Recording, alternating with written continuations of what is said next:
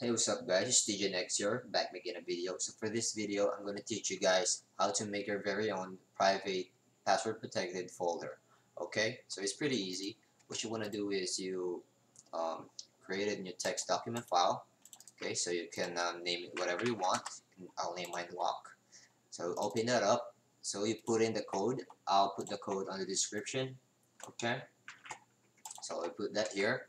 So you look for this line okay so you do you change the pat you change this field right here. So password goes here change that into your preferred password okay? So I'll put minus password. So what you want to do now is hit file click save as and then we're going to replace the file extension from txt to bat okay? So this is um, now a batch file okay? So click all files and then hit save. Okay so once you hit save you can exit out of this window. So you'll notice that you have another icon here or another file on your desktop. So what you want to do for this to to be activated um, you create another folder. Okay I'll name mine Ustream okay so for example um, I'm going to record videos and I don't want anyone to see those videos. So what I'm going to do is I'm going to um, make another folder which is this one and then put the lock that we just made. Okay so once once that that's in you double click it. Okay so the first time you double click this it won't ask you for your password because it will allow you to store up the items that you want. Okay so for example um, this one. Okay so these are the stuff that I don't want anyone to see. Okay okay so once you exit out of that hit back. So you double click this once again for you to lock it okay? So it will prompt you a question. Are you sure you want to lock the folder?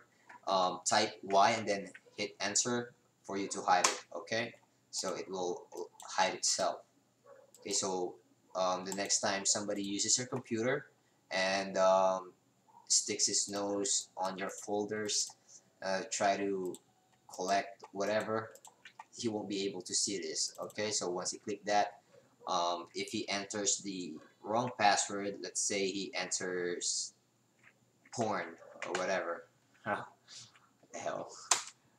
So it closes okay? It won't allow the um, it won't allow the folder to be created or pop up okay so what you do is uh, once you enter the correct password it shows up again. Okay so yeah that's it. So I hope you guys find this video helpful. Maybe you can make your computer a little bit more secured when there are people or other people that is using your computer.